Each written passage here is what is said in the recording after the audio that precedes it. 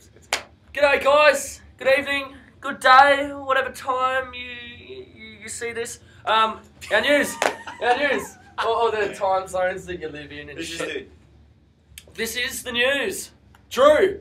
Hey guys, Fucking Drew. uh, name's Drew. I'm the new lead guitarist in the deep end.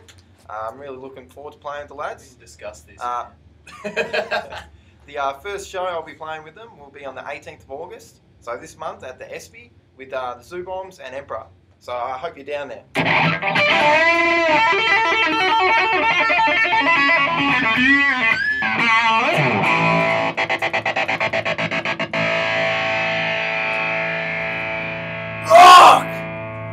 shreds.